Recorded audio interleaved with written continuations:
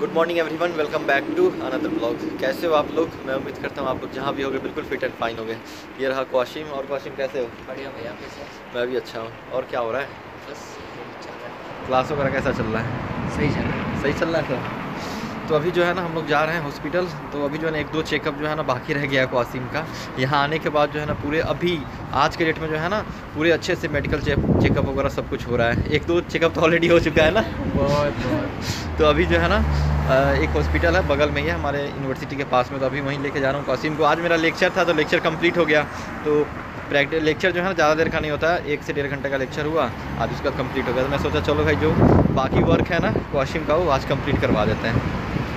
ये रहा सामने सिक्स एट फाइव टैक्सी तो बहुत पहले आ चुका था, उस टाइम जो है मैं ब्लॉग बना रहा था, मैं सोचा चलो पहले ब्लॉग बनाते हैं, फिर टैक्सी में चलेंगे।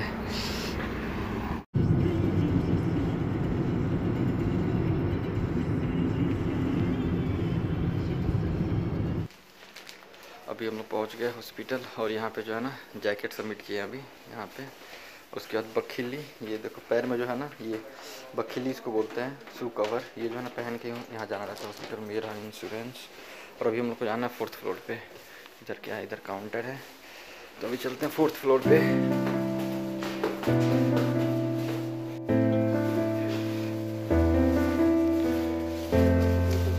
जो है ना, हम लोग पहुँच गए कौन से फ्लोर पे? फोर्थ फ्लोर पे।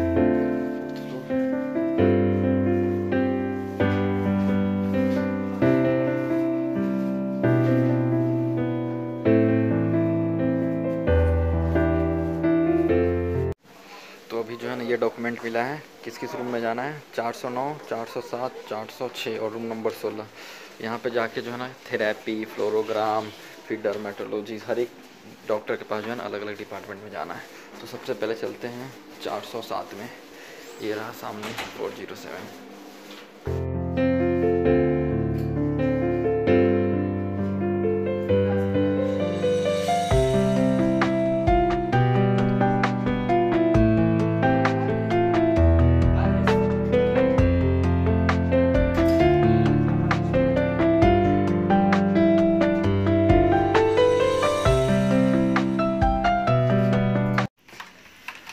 अभी जो है ना हम लोग थेरेपिस्ट के पास जाने के लिए यहाँ पे वेट कर रहे हैं और इससे पहले जो है ना ब्लड टेस्ट मलेरिया टेस्ट अभी एक फ्लोरोग्राम बाकी है, वो कराना है और डर्मेटोलॉजी के पास जाके चेकअप करवा चुके हैं। जो है ना थेरेपिस्ट के पास जाना है और फ्लोरोग्राम करवाने जाना उसके बाद जो है ना जो भी मेडिकल चेकअप वो कंप्लीट हो जाएगा। ब्लड बहुत निकल चुका है ना।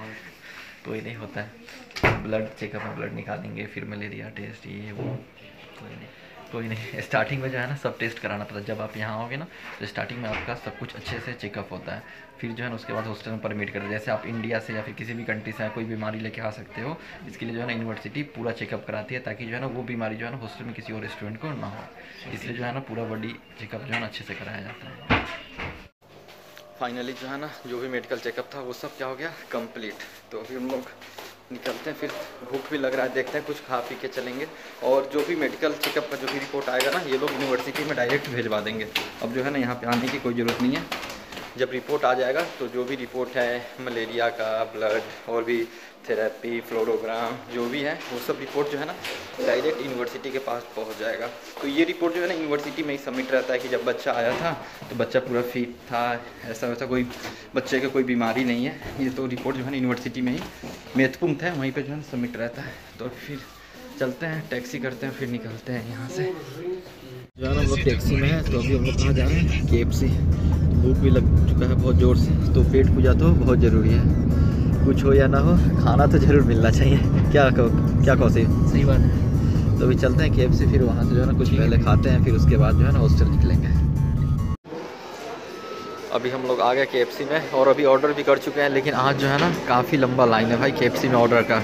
ये देखो यहाँ पे। हम लोग का नंबर है सिक्स टू फोर कहाँ पे सिक्स टू फोर भाई? ये देखो।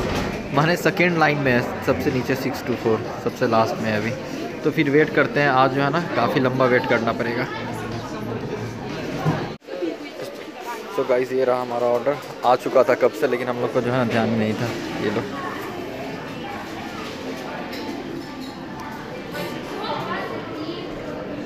कल जो है ना, साढ़े नौ बजे से प्रैक्टिकल क्लास है सर्जरी का सेकेंड प्रैक्टिकल क्लास कल है।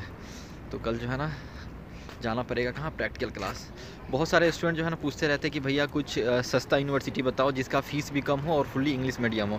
तो अभी जो है ना हमको एक यूनिवर्सिटी मिला है जिसका नाम है लोवा चेप्स की स्टेट मेडिकल यूनिवर्सिटी ये six year full English medium university है और इसका फ़ीस जो है ना काफ़ी कम है और बहुत अच्छी यूनिवर्सिटी भी है। है ना? इस यूनिवर्सिटी में एडमिशन एक अप्रैल से स्टार्ट हो रहा है। तो जो स्टूडेंट नीट क्वालिफाई है नीट का रिज़ल्ट जो है ना तीन साल के लिए वैलिड रहता है। जो मैं, जैसे आप लास्ट ईयर नीट दिए हो, अगर उसमें क्वालिफाई हो तो आप इस बार भी एडमिशन ले सकते हो। तो स्टूडेंट चाहते हैं कि वो अभी एडमिशन ले ले, वो नीट क्वालिफाई है और एडमिशन ले ले, या फिर जो नीट क्वालिफाई नहीं भी है, वो चाहते हैं सीट बुक करना तो आप सीट बुक कर सकते हो। एक अप्रैल से जो है एडमिशन ओपन हो रहा है। और मोस्ट ऑफ़ द यूनिवर्सिटी में जो है रशिया में अब एडमिशन ओपन हो जाएगा अप्रैल फ़र्स्ट वीक से, और बहुत सारी यूनिवर्सिटी में एडमिशन ओपन हो भी चुका है, जैसे मेरे यूनिवर्सिटी में एडमिशन ओपन है ट्वेंटी के लिए।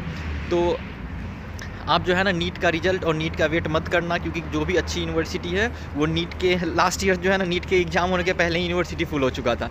इसीलिए अगर आप चाहते हो अच्छी यूनिवर्सिटी में एडमिशन लेना तो एटलीस्ट आप अपना सीट जो है ना, अभी बुक करा सकते हो। तो हमारा अभी जो है ना, मैं अपने हॉस्टल के कैंपस में हूँ तो यहाँ पर जो है ना थोड़ा बैठते वगैरह हैं, फिर हॉस्टल वापस चलेंगे। जो है ना यहीं ख़त्म करते हैं और मिलते हैं फिर आपसे कल नेक्स्ट ब्लॉग में। अगर आपके पास कोई भी डाउट कोई भी क्वेरीज हो तो मेरा व्हाट्सअप नंबर इंस्टाग्राम और टेलीग्राम व्हाट्सअप और टेलीग्राम दोनों सेम नंबर पर हैं तो आप उस पर संपर्क कर सकते हो। तो मिलता हूँ फिर आपसे कल नेक्स्ट ब्लॉग में। तब तक के लिए बाय टेक केयर अपना ध्यान रखें।